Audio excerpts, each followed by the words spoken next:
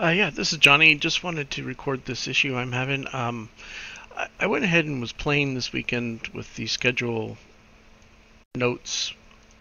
Um, call it, I guess, a workaround, but or a, a um, kind of a modification of its use. Anyhow, and I saved it to my library, and when I go to bring it back into my plan, eh, you know, a, a new plan, I should say, I don't get any. Um, I don't get any information. In fact, uh, these are my my test notes here, and as I put these into a plan, they're just blank, and it doesn't doesn't seem to work any longer yet. And I see that the um, items are um,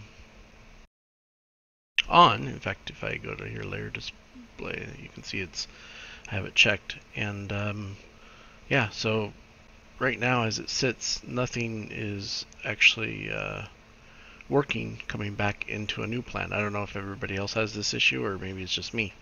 Anyhow, any help is appreciated. Thank you.